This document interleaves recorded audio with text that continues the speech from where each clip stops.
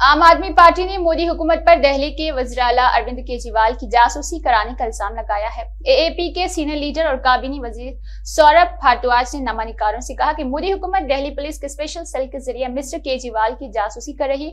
एक मुंतब वजराला के घर के बाहर सादा वर्दी में पुलिस एहलकार चौबीस घंटे घूम रहे और वहाँ आने जाने वालों पर नज़र रखते हैं। मिस्टर भारद्वाज ने कहा कि राज्यसभा के रुकन संजय सिंह ने इस संगीन मामले पर दिल्ली पुलिस कमिश्नर संजय अरोड़ा को खत लिखा है। उन्होंने कहा कि राज्यसभा एमपी की तरफ़ से लिखे गए इस खत में मैंने कहा कि हम आपकी तवज्जो एक इंतहाई संगीन मामले की तरफ़ मबसूल करना चाहते हैं।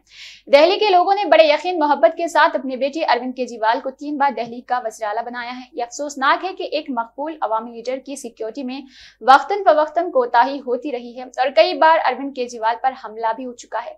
रियासती पुलिस की ज़िम्मेदारी बनती है कि वो अपने लोगों को तहफ़ फराहम करे। यह अफसोसनाक है कि दिल्ली वालों को तो छोड़े, पुलिस वजराला को भी महफूज नहीं रख पाती है।